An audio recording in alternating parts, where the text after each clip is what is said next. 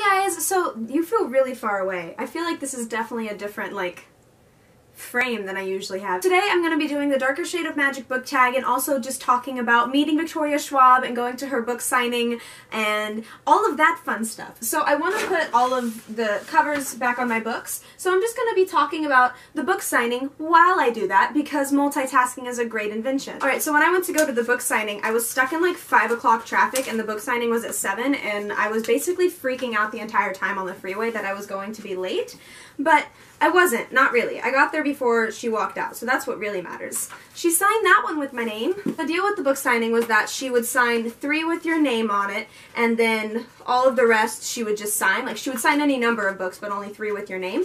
And so the ones that I got with my name were A Conjuring of Light, This Savage Song, and Vicious. In case you're wondering what Victoria Schwab's signature looks like if you couldn't make it to one of the events, um, here it is. You can try to forge it into your own books if you're super creative and talented like that um, you know, whatever floats your boat. So at the signing, just a couple of details that I remembered and wanted to talk about. And even if you don't want to listen, this video can just be kind of like my documentation of what happened. So one of the questions that somebody asked is, are you more of a plot writer or a character writer? And like, do you focus more on the world or the characters? And she was like, I am a firm believer that the world is a character in of itself. And I was like, yes, queen! And how a lot of writers show their fantasy formation through um, clothing or how transportation even and personality and wording but she shows it through language primarily and how important language is to her. So she has three different languages in the shades of magic series and she her and her editor came up with all of them. And like that alone is incredible to me. Congrats for you making up a language. The next thing that she talked about was how she started writing. And I think she said that when she was 12 or 13, she wrote a story and she said that this should basically tell you what kind of person she is. She wrote a story and it was about the angel of life and the angel of death and the angel of life was always being loved by the citizens and everything, you know, because he's the angel of life and not of death.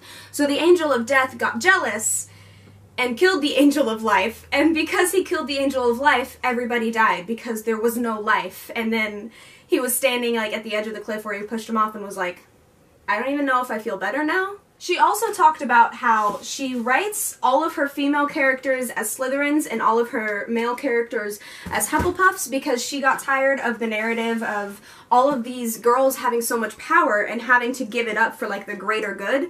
And so she was like, if a girl has power, she's allowed to be selfish with that power. And so a lot of her female characters are selfish with that power. And I just really enjoyed that unique take on it. And lastly, one of my favorite things that she talked about was she has an issue, well, not even an issue, I wouldn't call it an issue, a habit of buying dogs and cats. And so she'll buy all of these, not even buy, adopt all of these animals from like horrible situations or unsafe, just not the best of situations for an animal.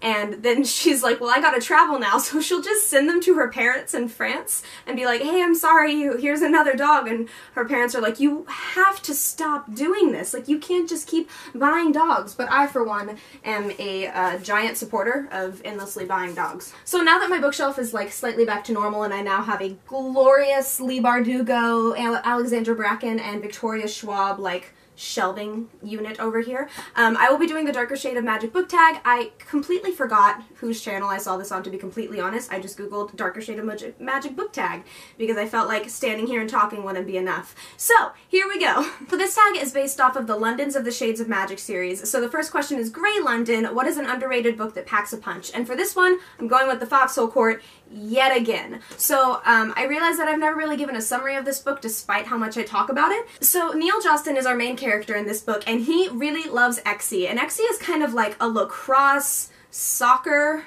mashup of a sport. It's not real. I want it to be real. I would want to be on the team, but as of right now, it is not a real sport. And he is a runaway, and so he's just trying to find his way through life, and then he gets thrown into this team, and it's just kind of like how all of their personalities clash, more than match, to be completely honest. And it's just wonderful and beautiful, but it does have all of the trigger warnings possible. So if you have any questions about specific trigger warnings, I will be happy to answer them to keep you feeling safe, but it does have a ton of trigger warnings. Red London, one is a book that left you feeling really good. A Conjuring of Light.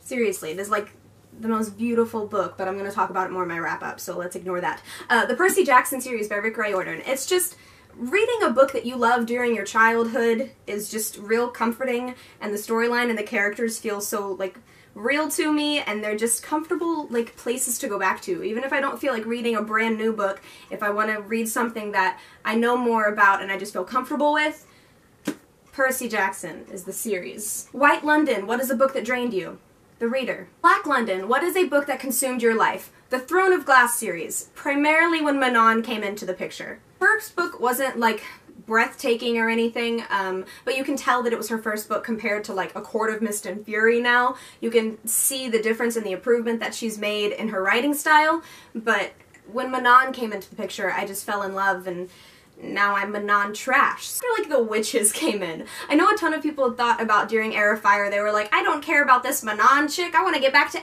the story. But personally, when I was reading it for the first time, I was bored with part of the story, and I was only wanting the Manon chapters. Now I go back and I love the whole book. Heir of Fire is an incredible book. It's probably one of my favorites in the series. So I hope you enjoyed this video for today. I'm, I know it's not much, but it's just throwing something out there because this weekend's kind of busy. So I hope you enjoy it. I hope you have a wonderful day or night or whatever time it is, wherever you are, and thank you for watching. Hey guys, today I am going to be doing the, I don't know the name of this book tag, just kidding, the Birthstone book tag. Don't mind me, I'm an idiot. Be doing the Darker Shade of Magic book series, tag, crap, mm, cool.